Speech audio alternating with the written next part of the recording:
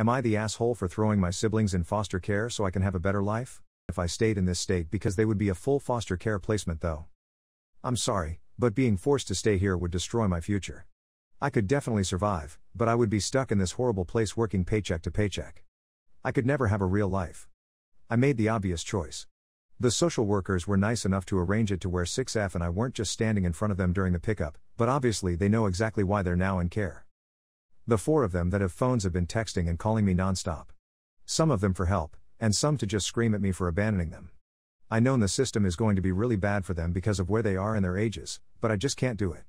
I can't blow this, this is mine and 6F's first chance for a real life, and I feel like I owe it to both of us to take it. Am I in the wrong here? The kids and my mom think I am, my grandma thinks I should have done something but can't say what and wouldn't let them in her house even if it could happen. The only person who doesn't think worse of me is 6F, who says she likes the quiet, but obviously doesn't know the full story.